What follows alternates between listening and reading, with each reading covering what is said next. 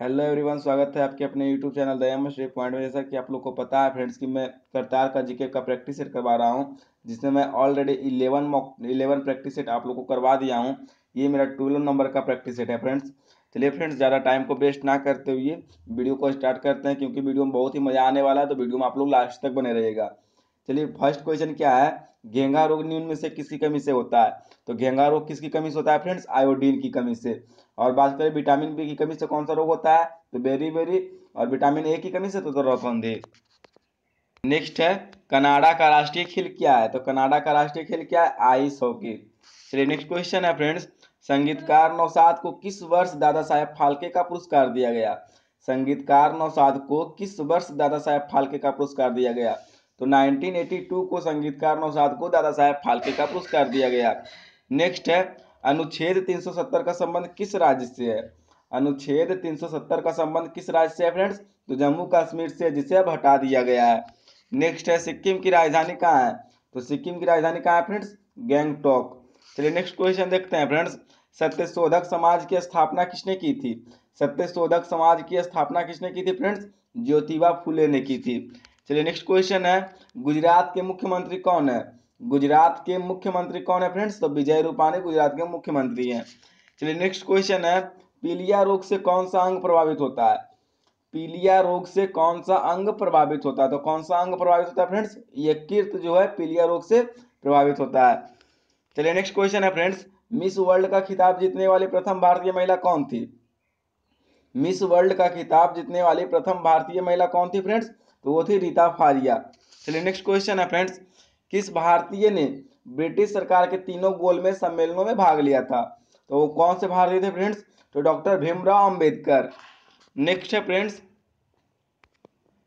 एक जुलाई को डॉक्टर दिवस किन की स्मृति मनाया था? तो एक जुलाई को डॉक्टर दिवस किन की स्मृति मनाया जाता है फ्रेंड्स डॉक्टर बीसी रॉय चलिए नेक्स्ट क्वेश्चन देखते हैं। नेक्स्ट क्वेश्चन क्या है फ्रेंड्स कुंभ मेला कितने वर्षों पर लगता है? कुंभ मेला कितने वर्षों पर लगता है? तो कुंभ मेला कितने वर्षों पर लगता है फ्रेंड्स? आई होप कि आप लोग को पता होगा, बारह वर्षों पर लगता है। चलिए नेक्स्ट क्वेश्चन है फ्रेंड्स। कंप्यूटर का मस्तिष्क किसे कहा जाता है? कंप्यूटर का मस्तिष्क किसे कहा जाता है? तो किसे कहा जाता है फ्रेंड्स? सीपीयू को कहा जाता है। चलिए नेक्स्ट क्वेश्चन है। श्रीमद भागवत गीता। श्रीमद भागवत गीता जो संस्कृत में रचा गया है फ्रेंड्स, उसके रचयिता कौन है? तो श्रीमद भागवत गीता के रचयिता कौन है फ्रेंड्स? वेद व्यास। चलिए नेक्स्ट क्वेश्चन है, अर्जेंटीना किस महादेश में है? अर्जेंटीना किस महादेश में है? तो अर्जेंटीना किस महादेश में है फ्रेंड्स दक्षिण अमेरिका। फ्रांस की राजधानी कहाँ है? तो फ्रांस की राजधानी कहाँ है फ्रेंड्स आई होप कि आप लोग को पता होगा कि फ्रांस की राजधानी पेरिस में है। चलिए नेक्स्ट क्वेश्चन है friends Moon Jae in, Moon Jae in निम्न में से किस देश के राष्ट्रपति है? तो मून जे इन किस देश के राष्ट्रपति है फ्रेंड्स तो ये दक्षिण कोरिया के राष्ट्रपति है।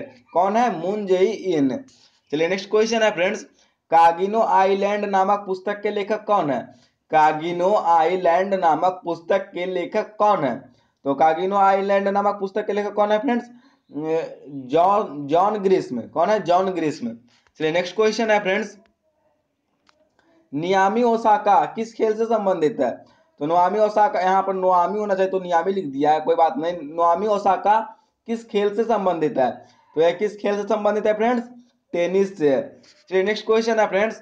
महात्मा गांधी किन्हें अपना राजनैतिक गुरु मानते थे?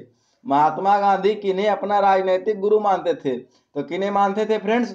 गोपाल कृष्ण गोखलो को महात्मा गांधी अपने राजनीतिक गुरु मानते थे। चलिए नेक्स्ट क्वेश्चन है फ्रेंड्स। कंप्यूटर का पितामह किसे कहा जाता है?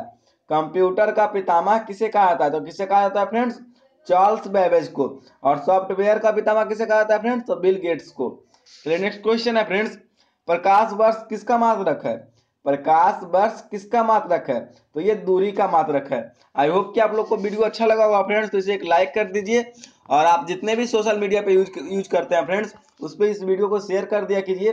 क्योंकि आपके थ्रू से किसी गरीब स्टूडेंट का भला हो सके। तो चलिए फ्रेंड्स नेक्स्ट वीडियो में मिलते हैं। जय हिंद, जय भारत।